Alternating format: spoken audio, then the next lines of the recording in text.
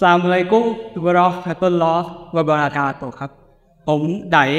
อัสุธาไดจิตอิเดตนะครับ เป็นจิตอาสาโครงการสันติชนอิสลามครับ วันนี้ก็จะมาพูดในหัวข้อ Test and Guides for Life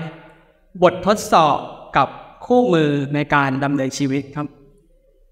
ทุกชีวิตย่อมเจอกับบททดสอบ ซึ่งประโยคนี้หลาย ๆ คนก็คงจะคุ้นหูกันอยู่แล้วใช่ไหมครับ แต่จริงๆแล้วเนี่ยตัวเราเองเคยตั้งคำถามจริง ๆ หรือเปล่าว่าประโยคประโยคเนี้ยมันหมายความว่าอะไร หรือเมื่อเราเจอกับบททดสอบเราควรที่จะปฏิบัติกับมันอย่างไร บททดสอบจากพระผู้เป็นเจ้าเนี่ย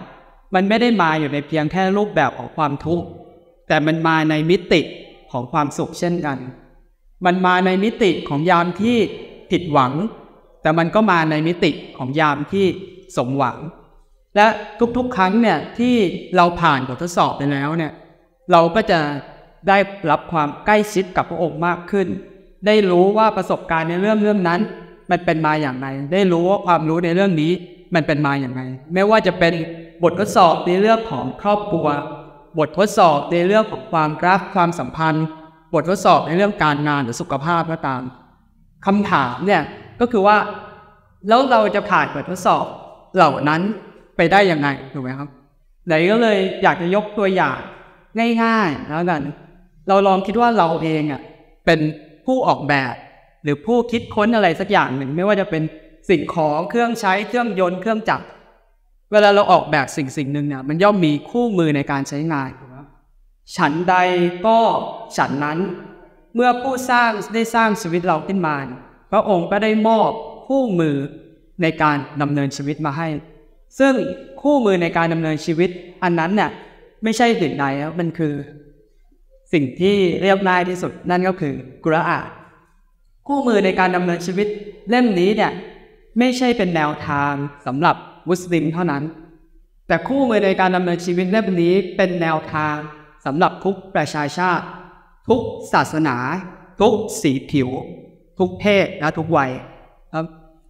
ในคัมภีร์เล่มนี้เองเนี่ยพระผู้เป็นเจ้าได้บอกกับเราทุกคนกับนบีมุฮัมมัดว่า โอ้มุฮัมมัดเอ๋ย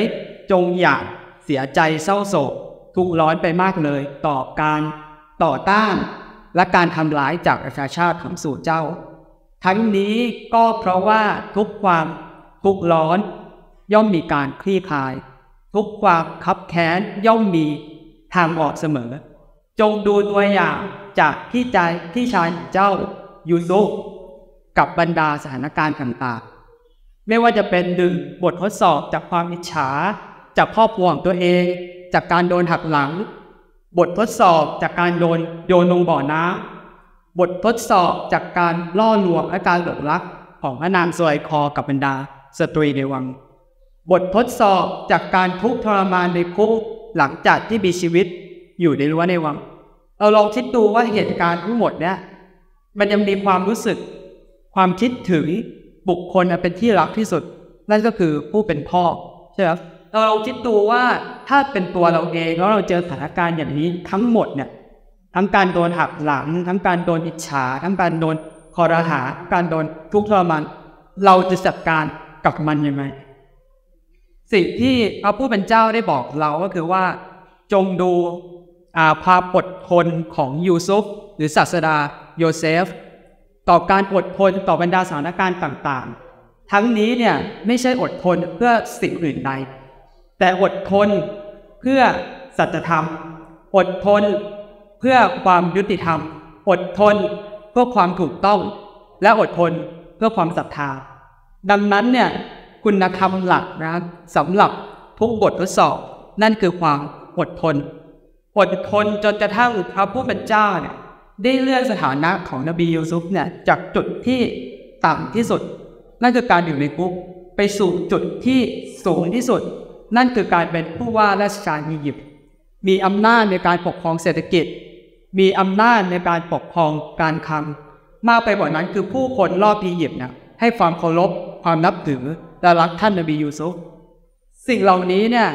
เราสามารถเห็นได้ว่า นี่คือการตอบแทน จากผู้ทรงไว้ซึ่งความยุติธรรม ต่อบรรดาดวงบ่าว ผู้ศรัทธาและอดทนอย่างหนักแน่นต่อบรรดาบททดสอบต่างๆ บททดสอบเหล่านี้ยังไม่รวมถึงบรรดานาบีท่านอื่นๆนะครับ ยกตัวอย่างเช่น บททดสอบของบิดาที่เป็นผู้ปฏิเสธศรัทธาอย่างนบีอิบรอฮีม ลูกที่เป็นผู้ปฏิเสธศรัทธาอย่างนบีนัวสามีที่เป็นผู้ปฏิเสธศรัทธาอย่างฟิรเอาน์หรือภรรยาที่เป็นผู้ปฏิเสธศรัทธาอย่างนบีลูฏการเป็นผู้นำผู้ปกครอง เราจะทำยังไงให้เราสามารถไว้ซึ่งความยุติธรรมได้ แบบนบีดาวูดหรือ King David King Solomon หรือนบีสุไลมาน เรามีโรคมันมีการเจ็บป่วย เราจะสามารถดูตัวอย่างได้จากนบีอัยยูบ เมื่อเราเข้าใจบททดสอบ เราเข้าใจคู่มือในการดำเนินชีวิต สุดท้ายเนี่ยเราทุกคนจะสามารถนำมาซึ่งความสำเร็จทั้งในโลกนี้และโลกหน้าได้ครับ ขอความรักความสันติประสบแก่ทุกท่านครับالسلام عليكم ورحمة الله وبركاته ครับดีครับ